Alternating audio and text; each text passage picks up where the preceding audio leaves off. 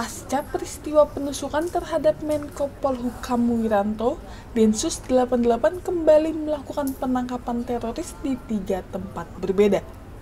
Kepala Biro Penerangan Masyarakat Divisi Humas Polri, Brigadir Jenderal Polisi Dedi Prasetyo menjelaskan mengenai keberhasilan Densus 88 dalam menangkap empat orang teroris di tiga tempat yang berbeda.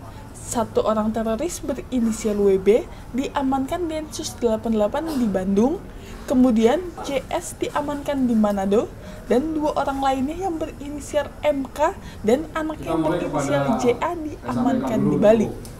Brigadir Jenderal Polisi Dedi Prasetyo mengatakan bahwa Densus 88 saat ini masih terus melakukan penyelidikan lebih dalam terhadap beberapa orang yang dicurigai sebagai otak pelaku teroris di beberapa tempat di Indonesia. Ini masih kita dalami semuanya dan tentunya tidak berhenti di sini. Dalam hal ini untuk Polres 28 masih mengejar mastermind dari balik kelompok yang mengkondisikan beberapa kelompok yang disebutkan tadi. Ada kelompok Jawa Timur, kelompok Jawa Tengah, kemudian ada kelompok di Morowali, ada kelompok di Simbolga, kemudian ada kelompok yang kita dapat sekarang ini di Bandung, kemudian di Manado, dan di Bali.